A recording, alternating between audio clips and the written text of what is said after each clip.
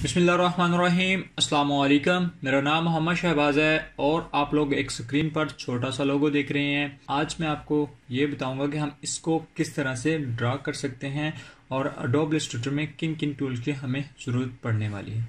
तो वीडियो अपनी स्टार्ट करते हैं।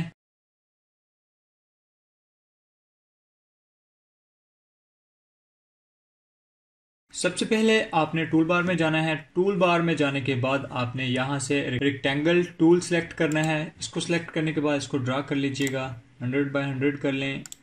ओके कर दें। हमने एक रेक्टेंगल ड्रा कर लिया है। यहाँ इसको अनचेक कर दें। टूल बार में जाएँ। टूल बार में यहाँ से लाइन सेगमेंट टूल सेलेक्ट करें और यहाँ इसको सेंटर से ड्रा कर लें। ऊपर की तरफ़ और इसको नीचे की तरफ़।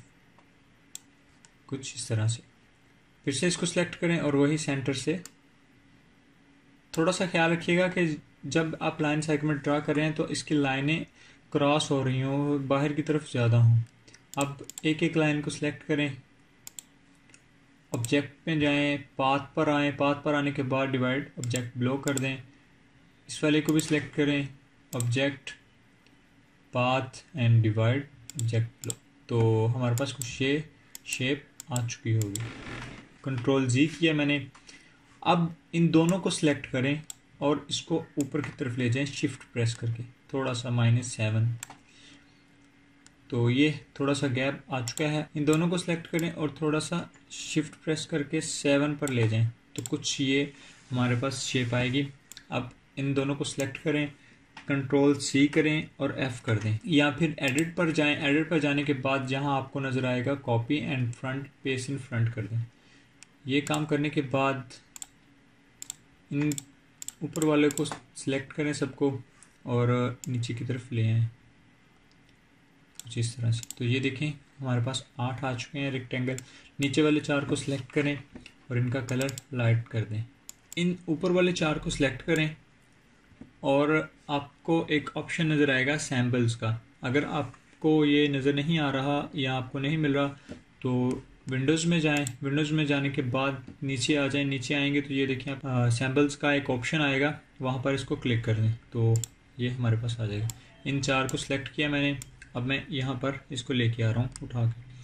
तो यहाँ पेस्ट करूँगा तो वो हमें देगा कि आप नया सैंपल क्रिएट करना चाह रहे हैं। तो इसका आप नाम देख रेक्टेंगल रख रेक्ट आप इसका नाम जो मर्ज़ी रख सकते हैं रेक्ट वन रख लिया मैंने और इस डायनेमिक सैम्पल्स पर क्लिक करें मूवीज़ क्लिप पर रहने दें और इसको ओके कर दें।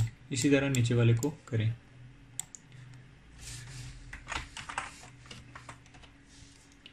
तो इन दोनों को साइड पर कर दें। इनकी अब ज़रूरत नहीं है, लेकिन आप साइड पर कर सकते हैं। अब फिर से रेक्टेंगल टूल लें। ये मैंने रेक्टेंगल टूल ले लिया। इसको ड्रा कर लें हंड्रेड बाय था, इसको थोड़ा सा बड़ा कर लें वन हंड्रेड टेन कर लें और इसको कर दें one hundred ten and okay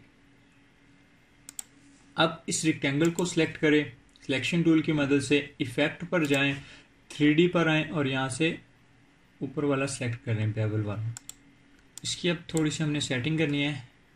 यहाँ इसकी डेप्थ हंड्रेड रखें। हंड्रेड और प्रीव्यू कर लें तो ये कुछ इस तरह से हमें दिखाई दे रहा है। अब यहाँ से इसको पकड़ें और इसको थोड़ा सा घुमा लें।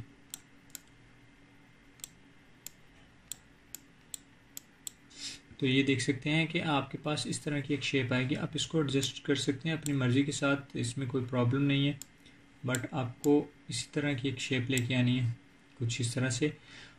अब इस तरह इसको एडजस्ट कर लें। यहाँ से आप इसकी सेटिंग भी कर सकते हैं। Minus twenty six minus forty eight और ट्वेंटी वन अब आपने जाना है आर्ट पर। आर्ट पर जाएँगे तो इसको कुछ भी नहीं करना है। यहाँ नीचे आके आपने इनविजिबल जियोमेट्री कर देना है।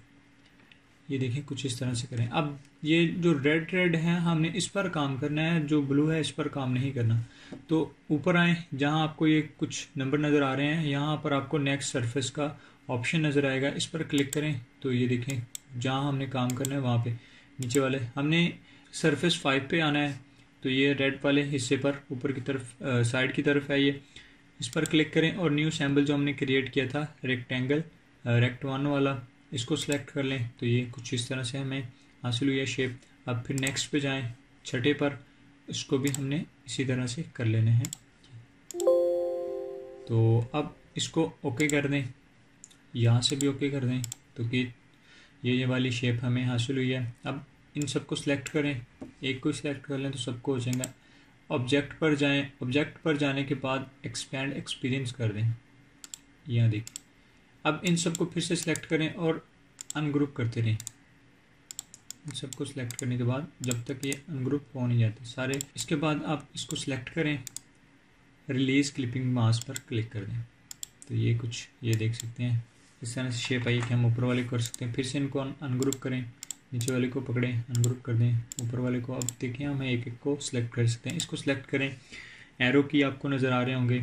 वहाँ से कर लें या फिर माउस से आप इसको नीचे की तरफ़ ड्रैग कर सकते हैं। कुछ इस तरह से। इस वाले हिस्से को सिलेक्ट करें और इसको भी आप ड्रैग एंड ड्रैग कर लें, जहाँ आपको उसकी ज़रूरत है। तो देखें, हमारा लोगो तैयार हो चुका है। अगर आप लोगों ने इस वीडियो से कुछ ना कुछ सीखा है तो इस वीडियो को अपने दोस्तों के साथ शेयर कीजिएगा, इस वीडियो को लाइक कीजिएगा कमेंट कीजिएगा, और मेरे चैनल को सब्सक्राइब कीजिएगा। मिलते हैं फिर अपनी नेक्स्ट वीडियो में। अल्लाह हाफिज़।